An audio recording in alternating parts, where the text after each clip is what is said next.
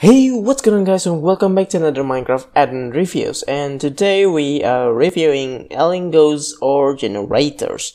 Now if you have played before on Hypixel Skyblocks and you will know that there is the mine system that ores is generating there instead of you searching for it. Now this add-on brings the same and by the way I'm using the resource pack from Tal Thompson Armor Reworked Links will be down in the description to the video where I reviewed this texture pack. Our focus today is the ore generator.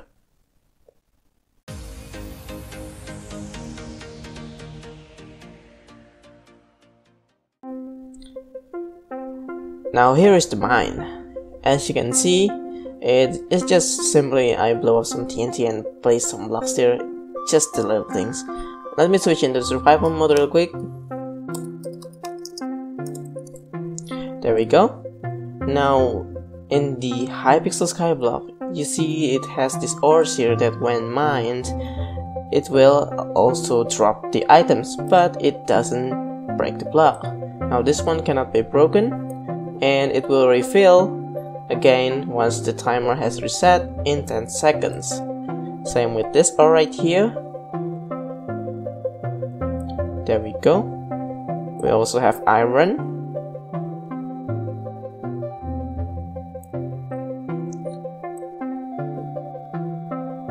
There we go. Oh, the iron is broken. Okay, the iron is broken. And now the gold. Gold works. Also the emerald.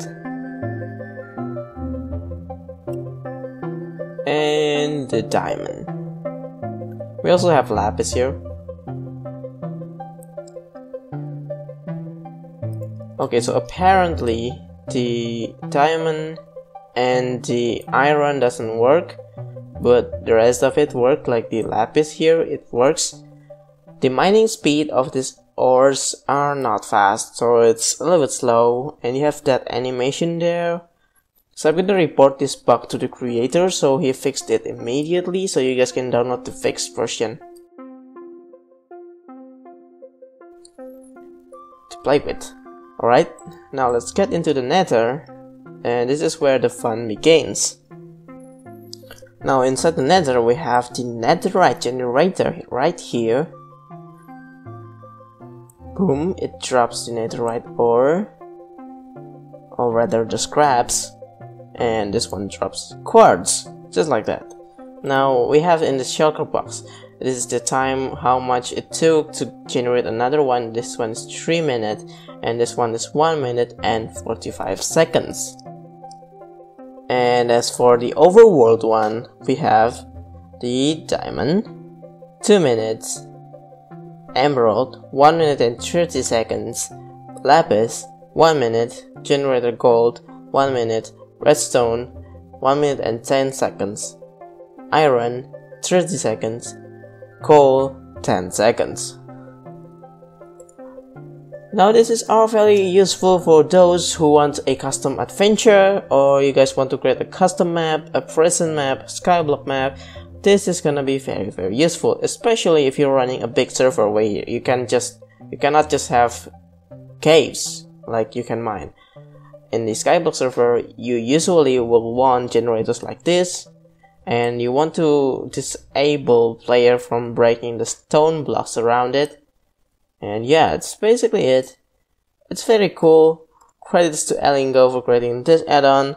Links to his add-on will be down in the description below. Check it out on mcpecore.com.